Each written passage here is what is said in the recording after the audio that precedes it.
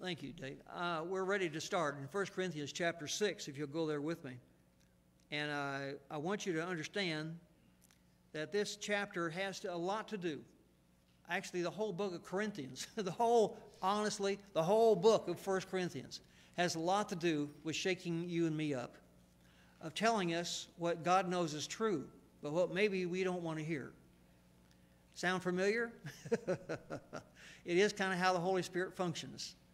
And so in 1 Corinthians 6, he begins to talk to us about grievances, how we aggravate each other, not you and your people outside the church, but people inside the church. I know it's hard to believe that people inside the church actually do grieve each other because you know we're all such a loving, kind, sweet, charming, good looking bunch of folks, aren't we? That's our image of ourselves. God may have a little different image, but nonetheless, we can sort of be pistols, can't we? Yeah, yeah. Uh, and so he says there's a problem with offenses, grievances. And the Corinthian church had even gotten to the place where it was a whole lot more than that. If you weren't careful, if you sat in their, their chair, they just might take you to court about this whole thing. There were lawsuits involved. I know it's hard to believe, but we live in a very, very much a lawsuit oriented, a contentious kind of society these days. And so in 1 Corinthians 6, Paul begins to say, When one of you has a grievance against another, does he dare go to law before the unrighteous? In other words, before the court system, who knows nothing about the claims of Christ on their life? Before the unrighteous instead of the saints, meaning the Christians? Do you not know that the saints will judge the world? And if the world is to be judged by you, are you incompetent to try trivial cases? Some of those trivial cases, some of those trivial cases through the years that I think about, of people coming to me and saying, Would you, would you make Michael quit uh, singing right behind me because he's monotone? Or, would you please tell Linda to quit, quit singing because she's too loud and I, I can't hear what, what's going on with the guitar because Linda's too loud. And I, and I think, what do you want me to do? Shoot her? Um, that would solve the whole problem right there, you know. Uh, grievances can be tiny like that, misplaced, by the way. I, I, had, I had one contractor who helped with, with this church um, and was a great help before I ever got here. Um, but he, he left the church. And, uh, and I was told that by the elders who were here when I first came many years ago. And he lived nearby, so I went to see him. I went to see all those folks who used to be here and, and no longer were by the time I got here. I'm, I'm glad to tell you it wasn't because of me. Um, they left before I got here. And uh, I'm sure if they'd been here when I got here, they'd have all stayed. Uh, he kind of lied. Anyway, so I sat down with him and I said, uh, I, am glad that you were part of the church family, but you left them, and I just wonder, is there something that you need to say about this? That can we, can we correct something? Is there something else that may have offended you? And he said, Well, I've got a problem with the color of the carpet. The pastor at that time wanted blue carpet, and I wanted a red carpet, and, we, and every church ought to have red carpet. That's how it is. Uh, I said, You know, it's good to meet you. And I got up quickly and said, and God bless your household. And I, I noticed the carpet in his house was not red. Uh, so we, we, couldn't, we couldn't bring him back into the fellowship. I, guess I didn't really want to bring him back into the fellowship, to be honest with you. I figure if you're going to if you're to flip a coin on what you're offended at today, that might I might not ever keep you happy. And by the way, I've told you this before. I am not good at keeping people happy. I know it's a terrible sin, but it's just honesty. I just, I just am not good at this. And um, I, I, sometimes I'll say something or, or not do something I should do or whatever it is, and people will get, and I understand that. Um, and so Paul is saying, Don't you know that we're to judge angels? I'm in, I'm in 1 Corinthians 6, verse 3. How much more then matters pertaining to this life? So if you have such cases, why do you lay them before those who have no standing in the church? I say this to your shame. Can it be that there is no one among you wise enough to settle a dispute between the brothers? But brother goes to law against brother, and that before unbelievers? To have lawsuits at all with one another is already a defeat for you. You know what he's saying here? If you can't get along in the church, what do you think that says to people who are outside the church? I've been in churches where I didn't want to go back again because people were not very nice, not to each other and not to me. And so he was saying, it's a shame, it's a defeat. Why not rather suffer wrong? Why not rather be defrauded? Wow. Wow. If a Christian does you wrong, he is saying, try your best to forgive that. Move on. Love them anyway. And you may be saying, yeah, well, that's not my nature. And boy, don't we all know that, folks? We weren't planning on pleasing your nature. We were kind of hoping you'd grow into Christ's nature. We were kind of hoping the Holy Spirit would take charge over you and me. So that even if you do something wrong, you get sorry for it real fast and you apologize or you ask for forgiveness or at least you go to somebody. I've been around the state of Georgia for a long time, and I'm telling you what, folks. Everybody in Georgia gets trained to never tell you up front what's wrong. They just kind of talk behind your back. I hope I'm being personal here. You, you remember I told you I was good at defending people because we can talk about you. By the way, I'm from Missouri, and we do the same thing. and whatever state you're from, I'll bet they do the same thing. It's human nature, isn't it? A friend of mine who was raised in the state of Georgia said, You know, it's because we lost the Civil War. I said, Oh, so that's what it is. Doggone that Robert E. Lee, he lost the battle. well, it's not easy to be straightforward and loving all at the same time. But it's important. Why not rather even suffer wrong? Imagine that. And so he says, Do you not know? I'm in verse 9. Do you not know that the unrighteous, meaning the people who haven't come to Christ, will not inherit the kingdom of God? Do not be deceived neither the spiritually immoral, nor idolaters, nor adulterers, nor men who practice homosexuality, nor thieves, nor the greedy, nor the drunkards, nor revilers, not swindlers, will inherit the kingdom of God. uh, probably he may have included you in this list. Um, I'm not pointing out where I am in this list, but it, it, may be possible that I'm in this list somewhere, not going to inherit the kingdom of God, not by our nature, not by what we've been doing with our lives. That doesn't bring you into the kingdom of God. No, it doesn't. Incidentally, I don't mean to make too much of this, but uh, the, the English translation that I use, which is the English Standard Version, simply says men who practice homosexuality, which, which may seem harsh, but actually is pretty easy compared to what Paul wrote in the original source. He uses two words um, malakoi, meaning to be effeminate,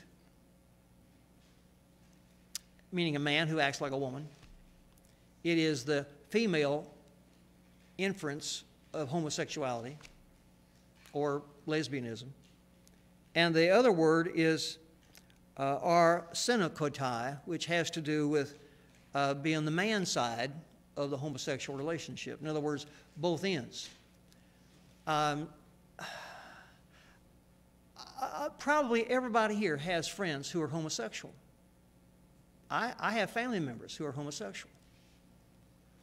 That doesn't mean I hate them, and, that, and you shouldn't either, by the way, because that is not how you're put together in Christ.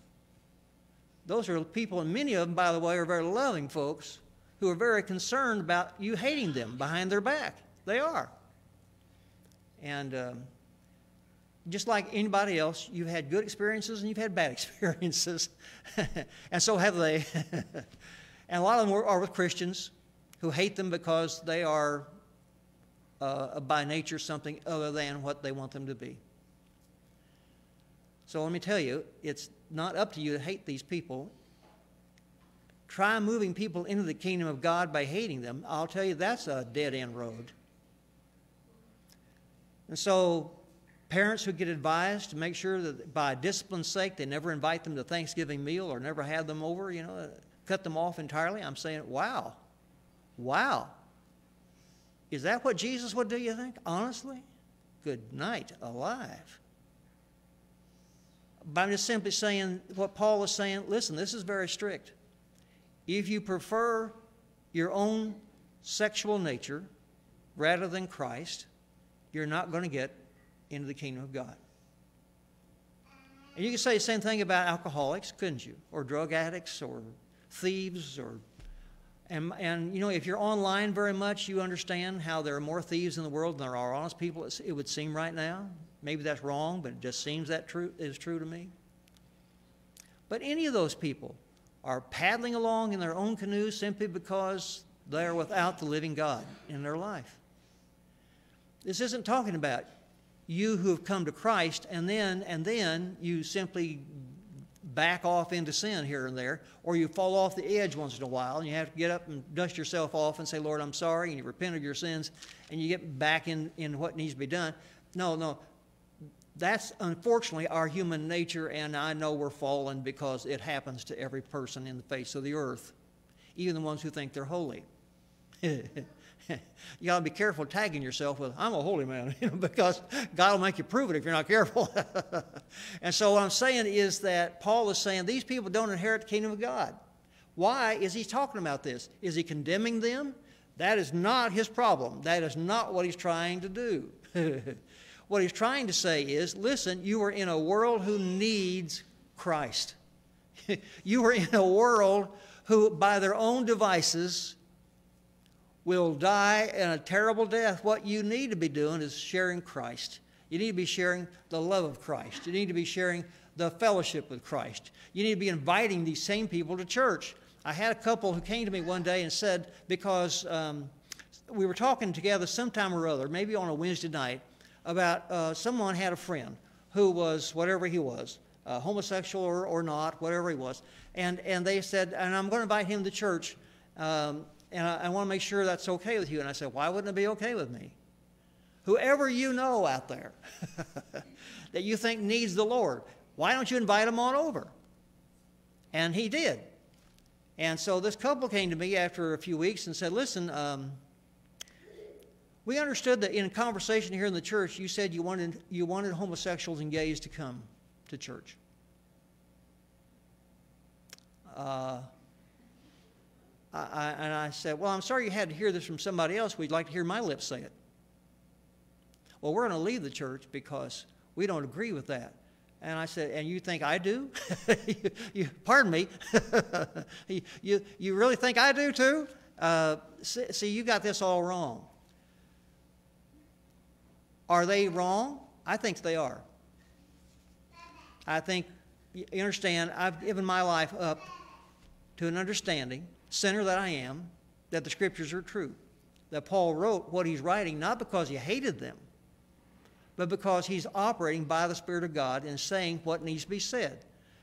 Listen, guys, whatever your intentions are in your life, the truth is the truth, is the truth. And no matter how you deny it, how you back away from it, you will know the truth, and the truth will set you free. That is the premise of God. That's His promise. All you got to do is listen to it. All you got to do is hear it. and so that couple did exactly what they promised they would do. They, they did leave the church uh, because we were welcoming uh, gay people. You win some and you lose some. And so Paul is say, saying, not condemning these people, he's simply stating the awful truth. Go on your own way, do whatever your nature tells you to do, and you will end up in sorrow. So he's telling the Christians, listen, you have to, you have to, you have to be at a place where you're no longer bringing lawsuits against each other. uh, go with me, uh, hang on to 1 Corinthians chapter 6, and uh, go with me to Matthew's Gospel, chapter 18, um, in which Jesus talks about offenses, what to do if there's an offense, if somebody uh, says the wrong thing, does the wrong thing offends you in some way. And of course, some of the worst offenses is, I understand that, is lifestyle. Um, living in a way that offends you, I understand all that. Um, I, uh, um, I, I, have, I have some folks who uh, were very upset because Ruby and I uh, replaced an old chain link fence with a new chain link fence uh, in our backyard. And, uh, and the insurance gave us the funds to do that, so we replaced the one with the other. And I thought it looked pretty grand myself. You know, we went from kind of rusty black to, uh, to shiny metal, you know, but it offended them. And, uh, and so, uh, as, as was already there, I put a gate uh, between them and, and us so that we could go through that gate to each other's house if we, need, if we wanted to. And um, and um, he said, I'm, I'm never going to come through that gate. Uh, okay. well, wasted money on that. Uh, wh- why, why that? Uh, well, because we were going to put up a wood fence. And I thought you were going to help us put up a wood fence. And I said, I, uh, um, hmm. Um, he told me what my, my fence contractor told me what a wood fence was going to cost, and I didn't have $20,000. So, um, but I guess he did. So they put up a six foot tall wood fence, and, and it went all across the back, and, and he made sure there was not a gate in his fence. So there's my little chain link fence, and there's six inches, and then there's a six foot wood fence staring at us.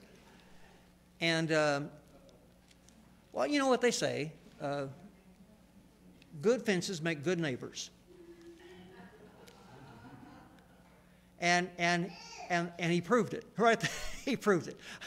we never have to talk to him again. it's a terrible calamity, I know, but uh, I, what can you say? Well, there's an offense factor here that Jesus gives us in Matthew 18. If you're offended, do not put up a six foot wood fence. But there is something you can do about if people rub you wrong. Look, look at Matthew 18 and verse 15. If your brother sins against you, go and tell him his fault between you and him alone. That's the first step. You still with me here so far? First step is have a talk with him hey, you know, what you said offended me, or um, what you did offended me, or you, uh, you sat in my seat in church, offended me. Yeah, I know some of these things we don't, we will not put out there on the table in plain English because even we know it's stupid. even we know it's been small. but okay, okay. So now, now here's the first step: have a talk with him. If he listens to you, you've gained your brother. Great. But if he does not listen, oh, here's the problem.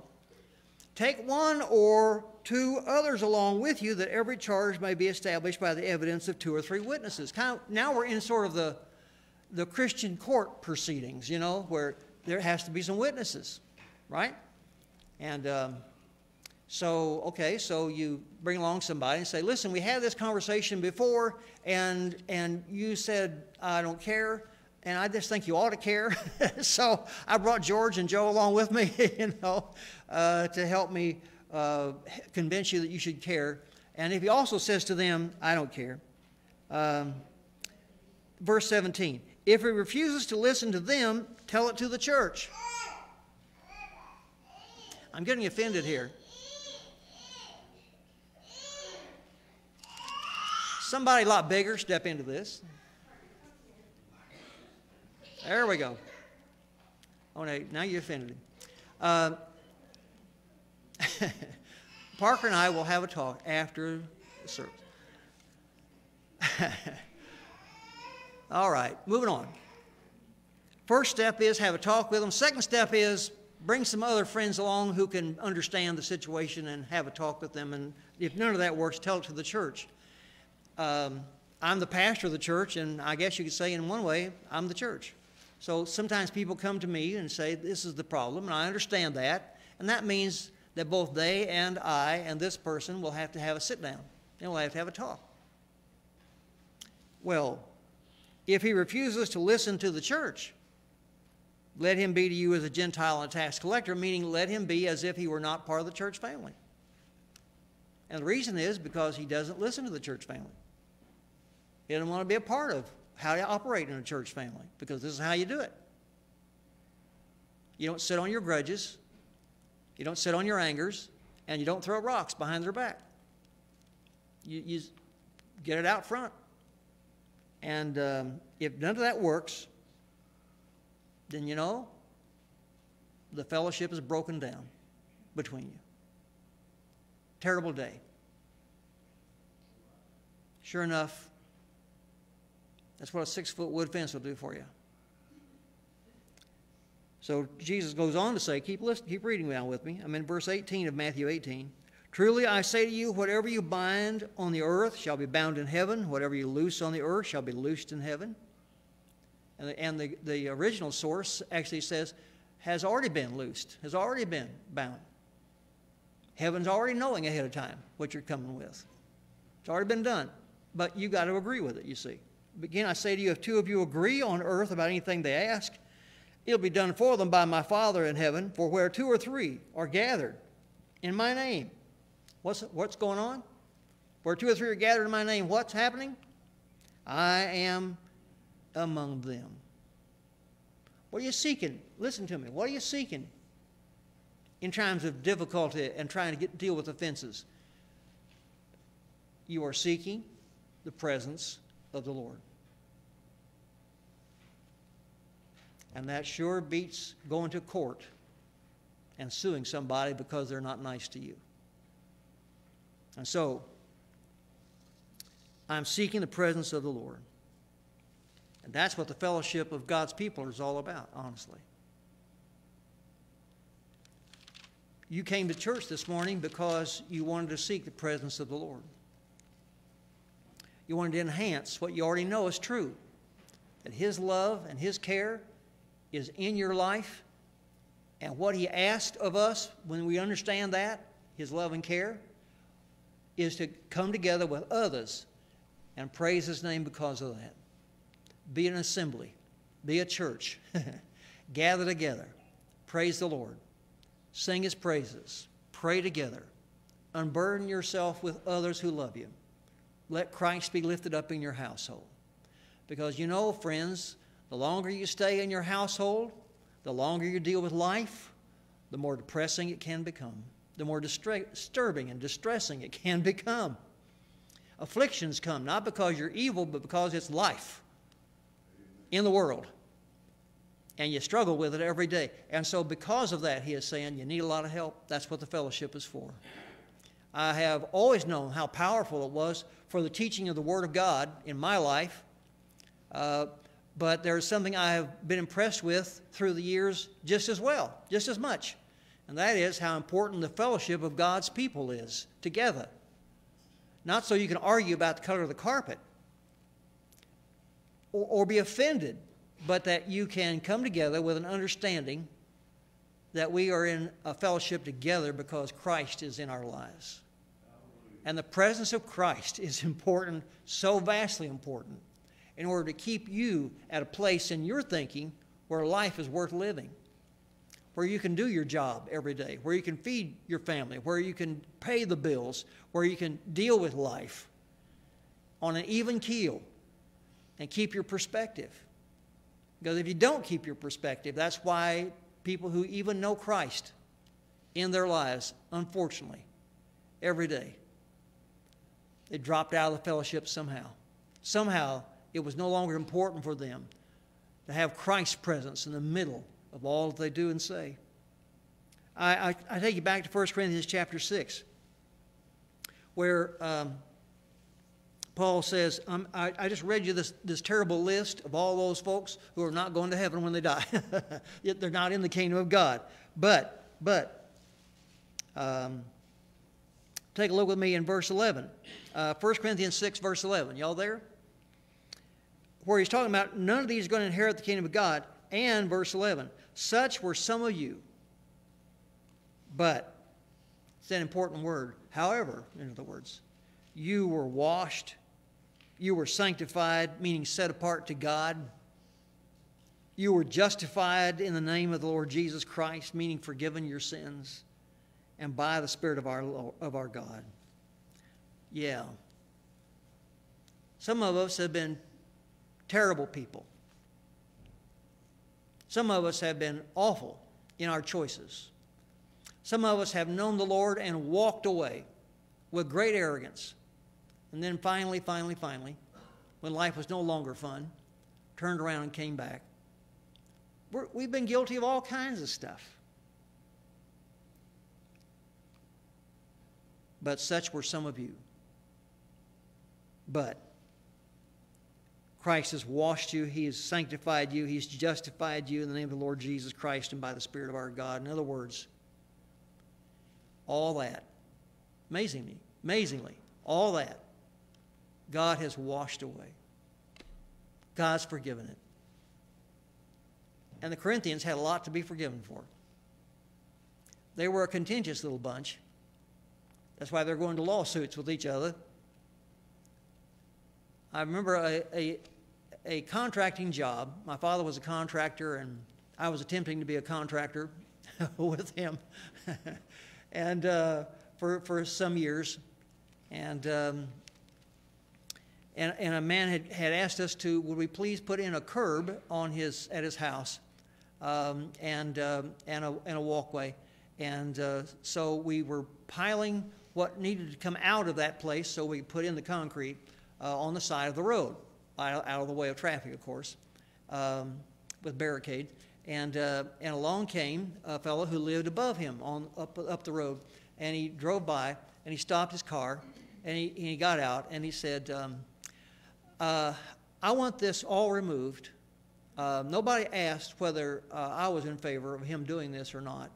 And this is just the way he operates. And so I'm just going to tell you now that if you don't remove this and stop this operation, I'm going to sue all of you, including him. And you just tell him that. And um, my father had known this man all of his life.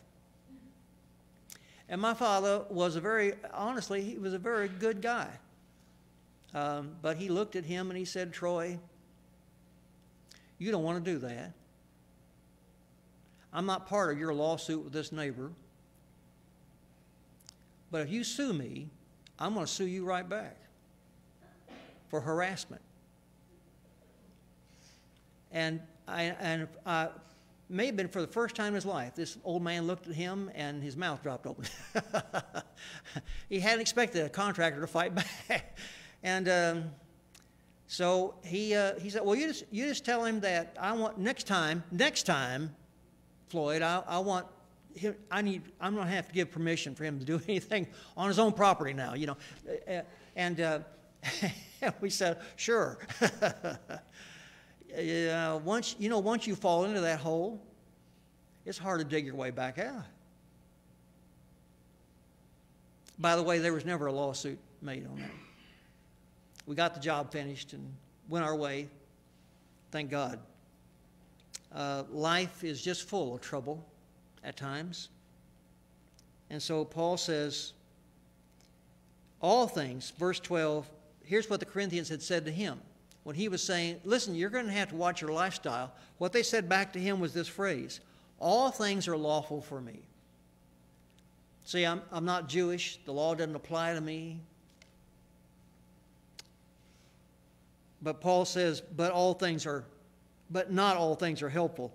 And again, they say, All things are lawful for me, but I will not be enslaved by anything.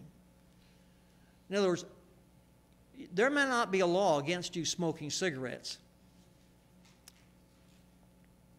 Um, and yet, you will pay the price. Anybody been a smoker for 50 years in here and hadn't figured that out? My father died of lung cancer. Seven years after he quit smoking. But from the time that he was a little guy, smoked Camels unfiltered cigarettes all of his life. And if he couldn't, if he couldn't find those or afford those, he'd, he'd uh, roll his own with Bull Durham.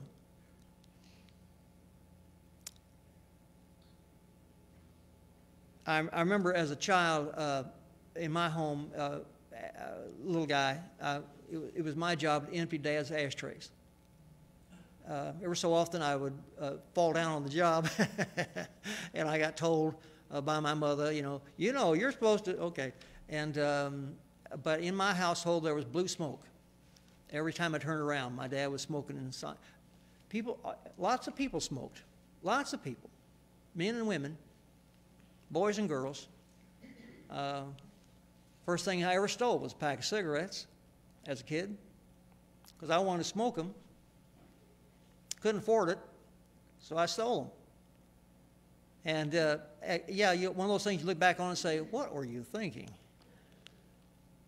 Nonetheless, nonetheless, all things are lawful, but some of them are going to turn around and bite you. So he says, I will not be enslaved by anything. You may say food is meant for the stomach and the stomach for food, but God will destroy both, one or the other. The body, I want to mention this to you uh, in this passage. In these nine verses, from 12 through the end of the chapter, verse 20, in these nine verses, the body, in the Greek, soma, is mentioned eight times. Eight times. Obviously, what he's trying to tell us is listen, what you're doing in the body is going to matter for eternity. So he says, in, uh, in as you go into uh, verse 13, the body is not meant for sexual immorality, but for the Lord, and the Lord for the body. What in the world are you talking about, Paul? The body is meant for the Lord? Yeah, because if you look quickly with me at verse uh, uh 19, do you not know that your body is a temple of the Holy Spirit within you, whom you have from God? You're not your own, you're bought with a price. So glorify God in your body. The body's meant for the Lord? Yes, in this way, to serve the Lord. To do what He's asking you to do with your body. And so he, he says, the body is not meant for immorality, but for the Lord in verse 14, and God raised the Lord and will also raise us up by his power. So do you not know that your bodies are members of Christ? Shall I then take the members of Christ, make them members of a prostitute? Never. You understand, Aphrodite was a, a, one of the major goddesses of Corinth, and they served the goddess by attending to the female and the male prostitutes that were in the temple.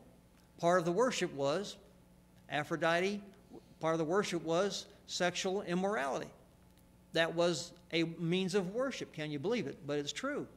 And so he says, Don't you know, putting yourself in that place with that person? Don't you know that he who is joined to a prostitute becomes one body with her? For as it is written, the two will become one flesh. But he who is joined to the Lord becomes one spirit with him. So he says one more time in verse 18 Flee from sexual immorality. How do you get around? Sexual lust. Run. run. it's hard to run when you're into pornography. Admittedly, you have to turn on the computer or your phone. There's lots of ways for it to reach you, isn't it? You know, get in there. It's not easy to, to quit some things. Um, I, I, I, think, in terms of, um, I'll, I'll describe somebody to you from the fourth century. You may be wondering what he has to do with your life. Well, let me explain that to you. Augustine of Hippo. Hippo was a major city at that time in North Africa, part of the Roman Empire. And um, Rome had not yet fallen, although it was on its way, uh, as when he was a young man. And he lived his life in uh, North Africa uh, in the Roman Empire and was a very, very intelligent teacher.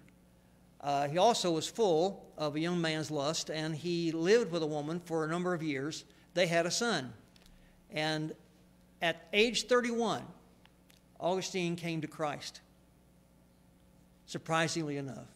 He had rejected all of this message for quite some time. In that day, North Africa was not Muslim because there were no Muslims, um, and it was a very Christian kind of, of uh, kingdom. And so the, the kingdom of Numidia in uh, North Africa. And so he had rejected all of this because his mother was a committed Christian and he couldn't stand the whole message of Christ. He just kept running away because of his lifestyle. And finally, when he was age 31, he came to Christ. And after a little period of time, he, he decided that living with this woman was not going to work. No, she was not a Christian and she wasn't going to go. But he decided he would be a major part of his, his son's life, and his son did become a practicing Christian under his dad's uh, time, a fellowship with him. You may be saying, well, so what are you telling us this story for? Because Augustine, going down the roadway, uh, found uh, a, a lady whom he had been living with and walked out on because of his Christian commitment. And she, uh, she yelled for him, Augustine. Um, and he turned around to see who that was and realized who she was. And she said, and he, he decided to start walking the other way, just walk away. And she kept yelling for him, Augustine. There was a whole crowd in around him, you know, and, and all of them, of course, now were looking at him, you know, like what and uh, she said, it's, it's me. Don't you understand, Augustine? It's me. And he turned around finally and said to her, Yes, but I'm not me. And ran away. Silliness, you might say. Oh, it was what was working for him, folks. The point of this story is given a little time, Augustine became a bishop of the church and therefore he's known in history as Augustine of Hippo, the city of Hippo, where he served as the bishop for the church in his day and time. Rome fell. The Visigoths finally sacked Rome in 410 AD. And, and in response to that, Augustine wrote a book called The City of God. All of their worlds were falling apart. The Roman Empire was no more the soldiers who had maintained peace, the roadways that they maintained through the empire, all of them were going to pot. So he wrote the city of God to say to people who were believers in him, in Christ. Rome is not God's place. It was just a, a, a place in time. It is the city that God establishes that will be lasting forever. Put your faith where it belongs, not in the empire. Put your faith in the Lord who has brought you to Christ. He'll bring you through. So Paul says, listen, what you choose to do with your body, it will encourage you or it will kill you, but the choice is all yours. And so, flee from sexual immorality. Every, every other sin a person commits is outside the body but the sexually immoral person sins against his own body. And do you not know that your body is a temple of the Holy Spirit within you, whom you have from God? You are not your own. You were bought with a price. So glorify God in your body. If you had to ask me what's the theme of the whole of 1 Corinthians, it would be this verse. You are not your own. You were bought with a price. So glorify God in your body. Nothing's easy, in my estimation, about living the Christian life. It might look easy to you if you watch other older Christians because, well, they've been through a lot of battles and they've understood what, how, to, how to run from some things. But it's never been easy, not for them any more than it is for you. No, no. No, no, no. You have to stand up and be somebody. that your body says, I don't want to be. That your mind is not comfortable with at times, but you have to stand up anyway and say, I'm going to serve Christ. I want to go in His direction. This is what makes life worth living. Let's pray together.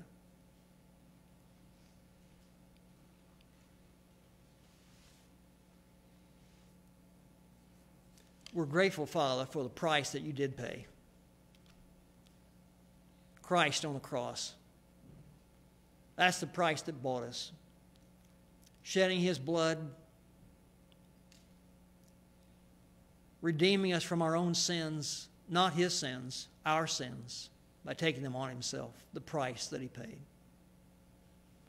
Sometimes we might forget that in the crush of life, that you have paid it all for us. And so we are not our own. We've been purchased. We belong to somebody far more precious than we are, but we belong to Him as His people. May that be true of us in how we're living our lives, how we're thinking, what we're doing with our lives, with our bodies. May Jesus Christ be praised. May we be forgiven our sins. That's kind of important, don't you think, folks? May we be forgiven our sins our actions, our lust, our desires, our hatreds, our angers, our fears, may we be forgiven. In Christ's name, so that, Lord, we become more and more fully the people who belong to you. In Christ, we're praying together. Amen.